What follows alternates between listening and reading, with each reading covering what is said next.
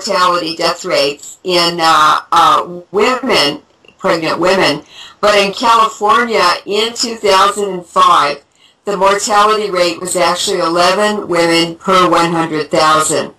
Now, California, from 1996 to 2006, the maternal mortality rate in 10 years tripled from 5.6 to 16.9 per 100,000. And what are the causes? Morbid obesity. There are more and more morbidly obese women now uh, delivering babies, and they are really a problem. Also, uh, the medical profession is saying uh, aging mothers, hypertension, diabetes, hemorrhaging from cesarean sections is also increasing, and that's uh, particularly high in obese mothers. So um, you could say that all of these illnesses that I've just named actually are radiation-related illnesses.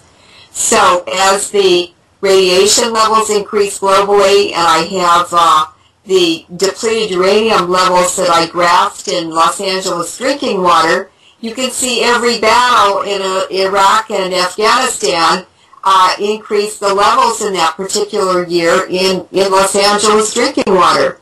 And I have a family who gave me their hair tests. They have sky high uh, levels of uranium in their hair. So um, it's really, uh, it's a disaster all over the world and hardly anybody even knows it.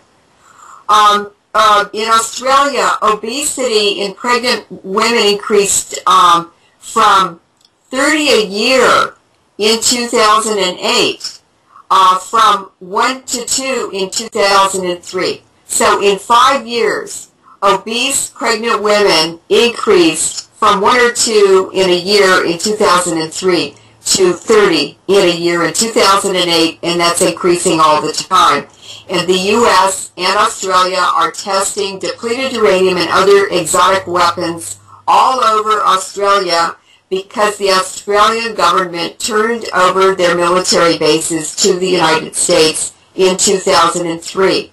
And that's just when the increase in obese pregnant women started. So the uranium is affecting already the Australian population. And in the in Australia and the U.S., cesarean sections are the highest in the world, with 30.9% of births uh, occurring through cesarean sections. That, that was 2007. And in Australia, gestational diabetes increased 20% between 2001 and 2006. And the reason I'm, I'm bringing this up and reporting on this is because these are what we can expect now very severely to increase in Japan and in North America. So um, uh, the very last thing I wanted to talk about with uh, the effects of radiation on uh, maternity is that there's a global decrease in the sex ratio of the number of boys born per 100 girls. And that is something that is per, very it, high it, it, in radiation contaminated areas and the UN and the WHO and the CIA are hiding this statistic more than any others. Yes, Alfred. Yeah, is that boys per 1,000 girls or boys per 100 No, girls? it's boys per 100 girls. Oh, oh, okay, good. Now, um, I guess the main question that I have on this section is this.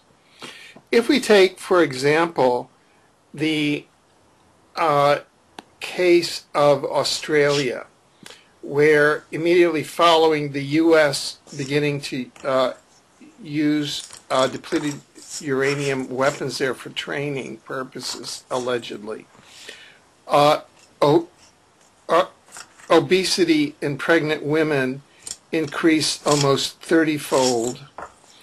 Uh, we now have the highest, along with the U.S., C-section rate in in the world, and gestational diabetes increased 20%. Um, is it your professional opinion that the uh, U.S. military was doing that for a military training purposes or for purposes of depopulating the Australian population? Oh, it's um, it's uh, multi-purpose. Uh, they're depopulating in particular areas that they want to carry out future uh, mammoth mining projects. And Australia is a treasure box of minerals, including uh, very large uh, amounts of uranium deposits in Australia.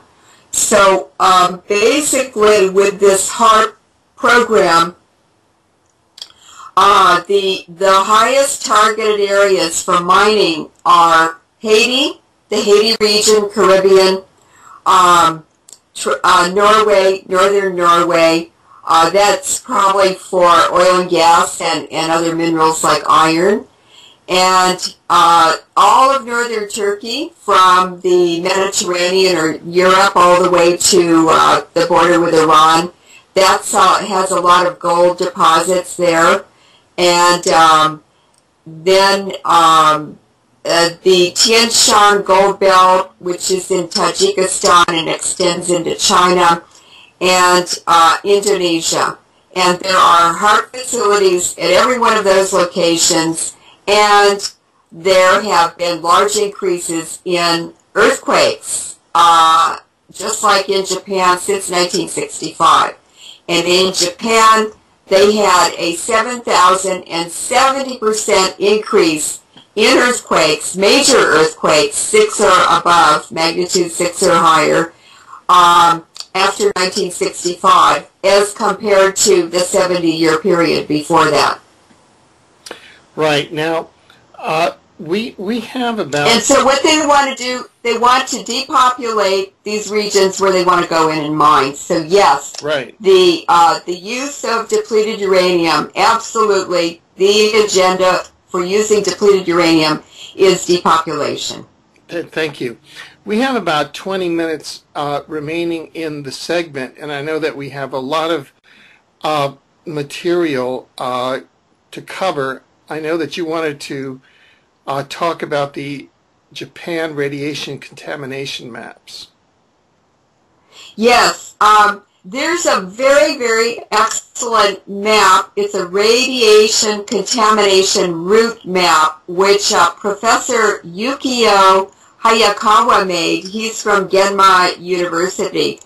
And uh, he made an excellent map that shows uh, where the the routes that the radiation took, and it has certainly contaminated the whole top third of Japan to such a level that the entire region should be evacuated, Alfred. Um, and it's making its way now down into the Tokyo area, and very soon uh, Tokyo will be uninhabitable. There are hotspots all over Tokyo that high as Chernobyl. Well, uh, Tokyo is in the macrocephalic kind of uh, uh, category, and that means cities that are that uh, uh, contain uh, disproportionate amounts of the Japanese population.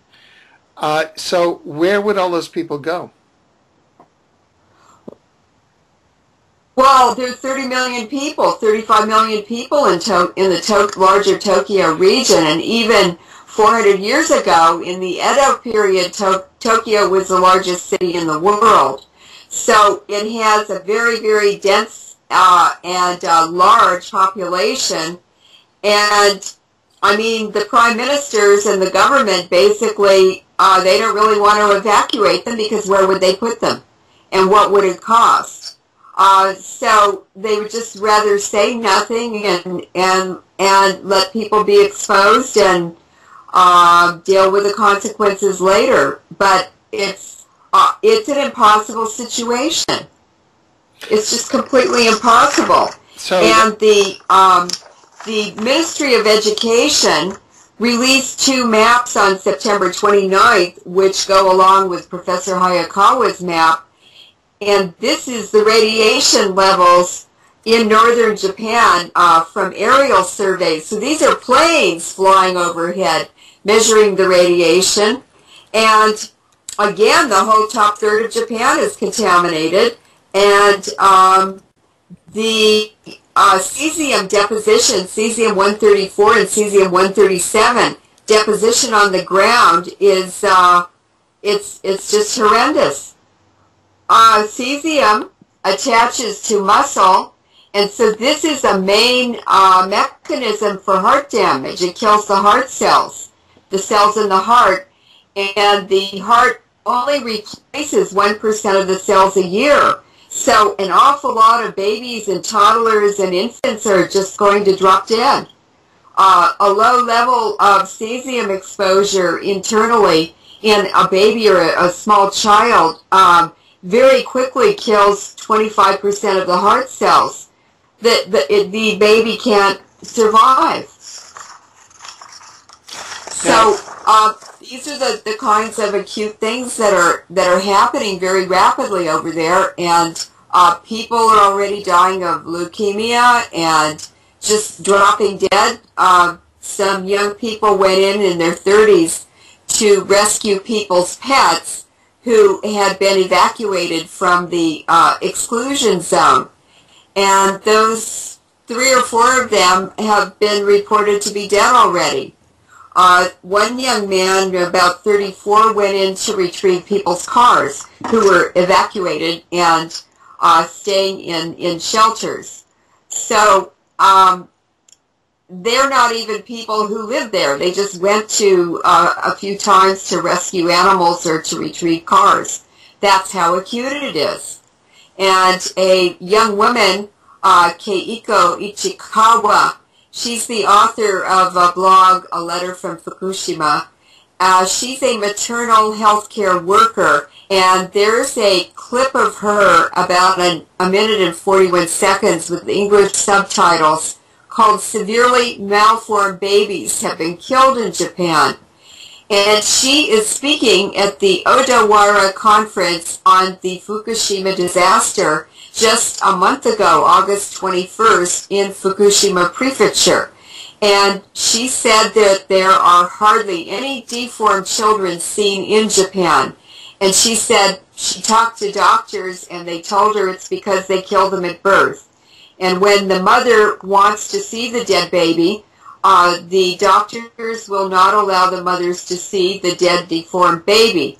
They just tell the mother that the baby died uh, during birth. So um, I'm sure that's happened in the United States and other countries as well. But but is this is this deformed children since Fukushima, or is this just part of a general practice in Japan? It's a general practice uh, because it's only been six months since the um, since the the disaster, and the greatest damage occurs in the first month after conception, when a woman hardly even knows she's pregnant. I see. And in in mouse studies, this is uh, uh, exposing pregnant mice to low levels of radiation, it causes the death of 80% of the embryos. And that has to be just as high in, in humans as well because we have the same hormones and estrogen and, and um, biological systems. That's why they do animal studies to, um, to decide whether drugs or whatever are okay for people to, to take. And um, and so if the embryo makes it through that first eight weeks, four to eight weeks, um, and it survives the first three months, there is continued damage um, to that embryo as it develops into uh, um, a fetus. And those babies that survive that period uh, are born and they're just simply monsters. Uh, it's cruel to keep them alive, actually, because they have no chance at a decent life or uh, life quality, and it's a terrible burden on the parents and on society.